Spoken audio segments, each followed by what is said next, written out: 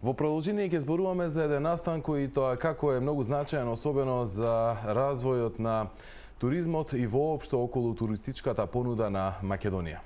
Еден од градовите или пак еден од места, едно од местата кои се и тоа како значени за развој на туризмот во Македонија и на вистина има и што да понуди, а тоа е највисокиот град на Балканот. Станува збор како што знаете за Крушево. Годинава повтор пат ќе се одржи една авантуристичка еден авантуристички настан кој тоа како има големо значење и за оние кои што сакаат малку повеќе да да доживеат различни туристички авантури или пак да го исполнат своето слободно време, може би дел од својот годишен одмор, но она што е значено е затоа што ќе се одржува за време на викенд, па добро ќе биде и за сите оние кои што имаат малку повеќе слободно време да појдат на во Крушево од 29 до 1 јули, од 29 јуни, значи до 1 јули ќе имаат можност сите да уживаат во сето она што ќе биде составен дел од еден настан кој е насловен Венин Крушево. За тоа што представува овој настан или пак ова туристичко, авантуристичко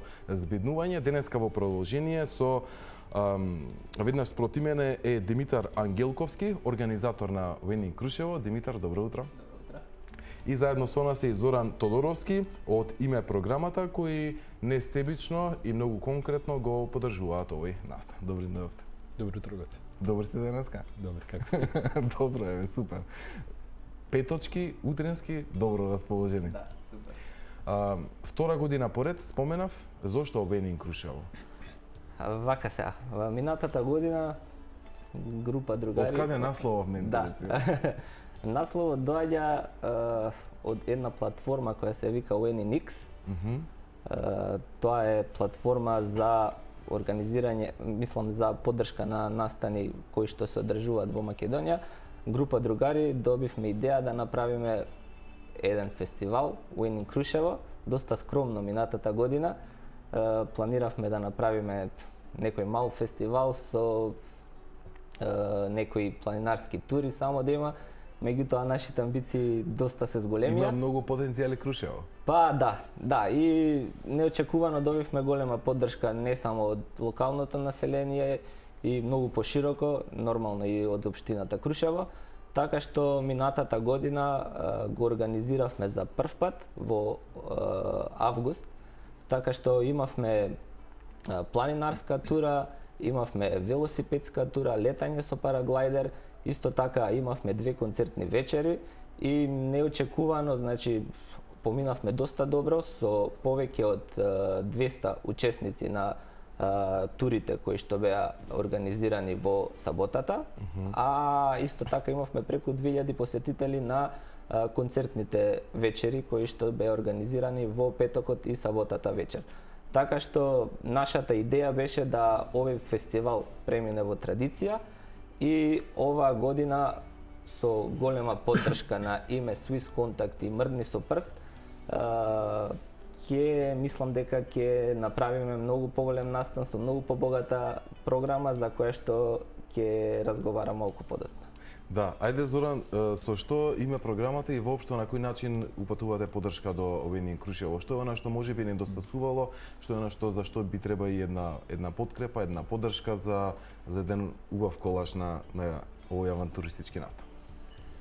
Така, сликата е малку поширока, бидејќи име програмата која е инаку поддржана од швајцарската агенција за развој и соработка, а е имплементирано од Swiss Contact, работи во секторот туризам веќе 4 години mm -hmm. и една од нашите дестинации е токму и Крушево. Овој фестивал би рекол дека е всушност дел од понудата што може дестинацијата да ја даде. И ние затоа сметавме дека во рамките на она што ние го работиме на развој на нови или унапредување на туристички производи, дека е можно да соработуваме на развој на овој производ. Кога мината година го анализиравме фестивалот, заклучивме дека тој има голем потенцијал. Беа негде околу 200 посетители само на ниво на кампот. Така да тоа е веќе добра бројка без би рекол да, да, да, да се работи на ниво на унапредување. Сега mm -hmm. кога го земавме и ние како производ, сметаме дека ќе можеме да го зголемиме и да му овозможиме на Крушево да покаже малку повеќе од она што е како визија за Крушево. Да. Uh, Крушево како еден авантуристички настан. Uh, која е програмата и што е она што ќе се случува? Ти има ли доволно авантури? Да, да, во секој случај ќе има. Ова година е значително збогатена нашата програма. Ама авантури во секој сегмент. Авантури во секој сегмент, нормално. Благодарение, значи, повторно ќе кажам на Swiss Contact, на име програмата Мрдни со прст и секако на општина Крушево, кои што несебично застанаа позади овој настан. имаме стварно богата програма која започнува... Еве, гледаме и видео материјал. Да. Програмата започнува на 29 јуни, тоа е нареден викенд и е, имаме најпрво пристигнување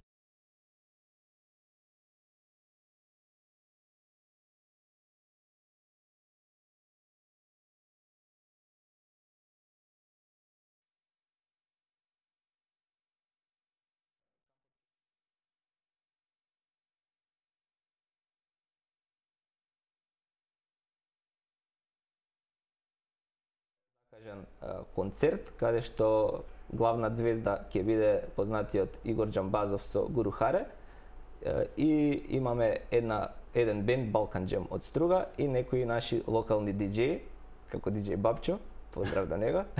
Кочо, кочо. Исто така легендарен диџеј да, на Крушево. најлегендарниот диџеј на Крушево. Во сабота започнуваат планинарските тури имаме две планинарски тури, кратка и долга. Кратката е повеќе е, рекреативна тура каде што можат сите да учествуваат. Минатата година имавме и, и деца, така што оваа тура е околу помалку од 10 километри. Најче, најголемиот дел е Подсенка.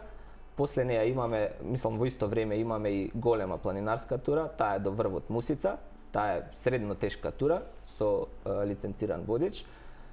И паралелно имаме и две велосипедски мала и долга тури, тоест mm -hmm. малата тура е 20 км и големата тура е 40 км за а, оние кои што се поамбициозни велосипедисти.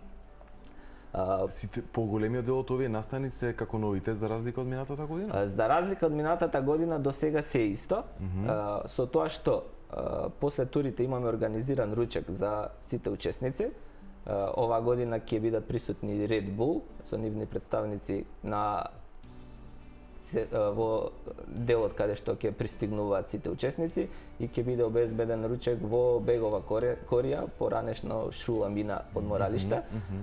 Така што после тоа имаме доста поразлични активности од минатата година. Ти има може би влашка пица?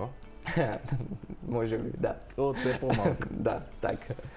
Во после ручекот имаме организиран часови со кајак mm -hmm. на Крушевското езеро. Ќе имаме со тимот на Врело нуркање, екоакција, каде што ќе се направи едно чистење на езерото. Исто така имаме организирано еден Kids Corner каде што ќе присуствуваат сите учесници кои нормално имаат деца и локалните е, жители кои сакаат да учествуваат во тој дел каде што ќе има доста активности кои ќе не подсетат на времето кога ние растевме сите како плочка, народна, криенка и сите тие игри кои што порано децата ги игра, за жал денес не ги играат, повеќето се на компјутери. Момчињата сервис, девојките так, ластик. Да, сето тоа ќе го има. Ќе биде мислам дека доста интерактивно и е, можност за децата малку да избегаат од компјутерите. Супер. После тоа имаме а, концерти, вечерните концерти ни се. Главната звезда ни се греми наградуваните Inner Circle, кои доаѓаат директно од Јамајка. За прв пат во Крушево ќе имаме а, такви музички звезди кои ќе присуствуваат и ќе одржат концерт. А, исто така вечерта имаме некои локални диџеи и завршуваме со познатите познатиот македонски бенд Бета Хаус. Mm -hmm. Тоа е програмата за сабота.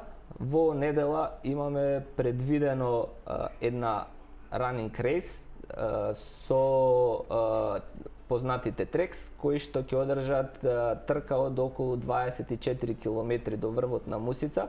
За сите авантуристи кои се спремни да издржат оваа тура, со мислам дека имаат лимит од околу 5 часа да ја завршат трката, ќе биде доста интересно да да присуствуваат на тој настан. И во 9 часот имаме една лесна за постарите ботаничка тура која што ќе организира Крушевска жена со тргнување од Монтана, каде што ќе се посетат интересни локалитети, каде што ќе се видат некои познати, познати билки, ќе бидат представени посета на манастири, цркви и завршувањето ќе биде во градскиот парк во Крушево, каде што исто така Крушевска жена ќе одржи еден традиционален настан со традиционално крушевско јадење.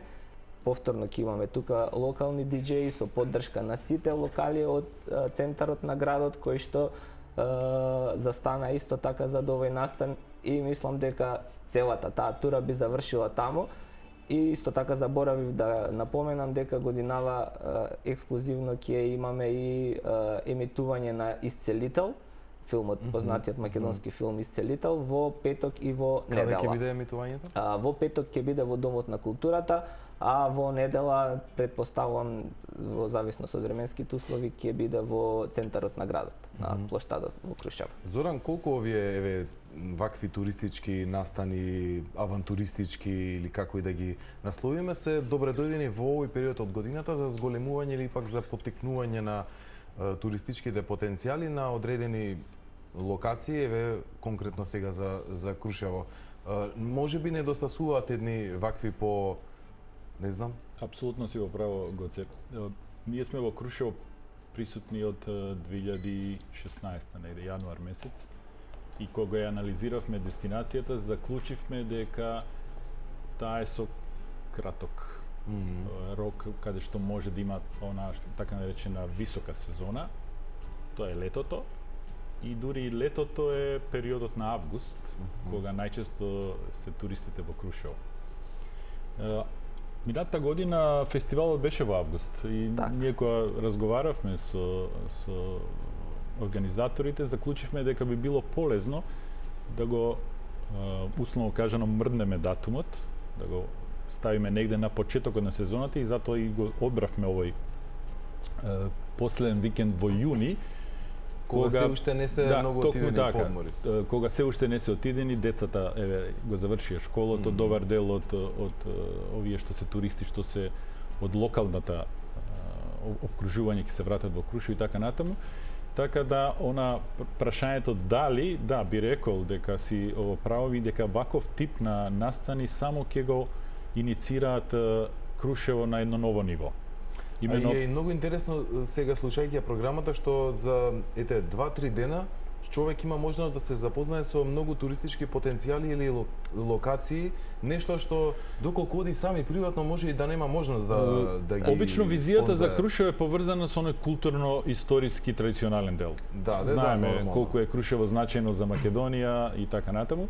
Меѓутоа ова е сосема еден нов аспект, а тоа е всушност поврзано со она што се случува и на глобалниот план на развивање на, на туризмот. А тоа се овој тип на, на, на туристички понуди кои се наречени адвенчар или активен туризам и кој во основа а, има поинаков импакт и влијание на заедницата. И затоа сметаме ние како програма дека овој тип на туризам е всушност иднината на Крушево. Mm -hmm. Крушево има огромен потенцијал во тој дел. Еве го таки раскажа што све Крушево ќе понуди за тие два дена. Значи имате и вода, и ветар, и земја. Да, заборавив да напоменам Па не, ја споменав и човек и да не е толку многу инволвиран во овие настани, доволно е воздухот и убавините на Крушево со што ќе си наполните и очите и да. душата со овие две нешта и доволно е за неколку дена да да ги искористите. Крушево за ваша информација е од првите 10 дестинации за параглайдинг.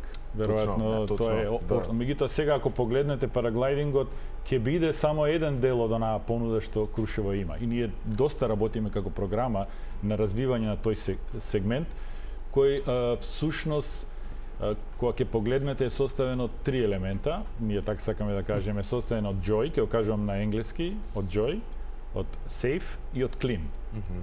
Ова што таки го зборуваше добри 2-3 минути е всушност забавата. Меѓутоа не треба да се заборави дека треба да се грижим и за уште два битни елемента и тука е нашата програма исклучително активна, а тоа е безбедноста на дестинацијата, бидејќи овој тип на туризам предпоставува висок степен на безбедност. Значи, работа на безбедност на ниво на дестинација. Што значи тоа безбедност? Тоа значи дека вие морате да имате организирана спати, спати, спасителска служба Така, да. или планинска служба, мора да имате точно обучени водичи кои ќе ве поведат низ планината на најдобар начин, најсигурен начин и ќе ве вратат од таму кај што сте дошле. И во таа смисла тие тип на обуки кои овозможуваат да таков тип на кадар се формира, го правиме преку нашата програма. И третиот елемент е клин, односно заштита на човековата средина. Е, тоа е најбитниот момент, да. Знаете Да, зашто да, зборувам, тоа, да, тоа е да, исклучително значаен елемент и да. оваа дестинација доколку не ја задржиме на тоа ниво, да. без обзир колку и да сме забавни, нема да ни се вратат туристи. За крај само во 20 секунди околу пријавувањето на учесниците, оние кои што Да. би сакале Значи, да бидат дел од ова збиднување. Ова година, значи, луѓето можат, учесниците можат да се пријавуваат на нашата платформа на winningkruševo.mk. Така што сите информации ги имаат таму, преку платформата WinningX онлайн можат да купуваат билети, исто така преку МК Tickets во Југотон и сите нивни продажни места можат да купуваат билети кои чинат само 400 денари, со 400 денари добиваат маички пакет за сите учесници имаме, исто така имаат учество во три музеи и летање со повластени цени за параглайдер од 1500 денари. Ви благодарам многу за гостувањето. Биди дојдовте, да. фала ти на поканата. Да, За заедно со мене. И ете да ги поканиме сите. Венин Крушево ги очекува од 29 јуни до како 1 беше јули. 1 јули. Да, да се убава гледаме во можност да се искористат овие неколку денови. Фала многу.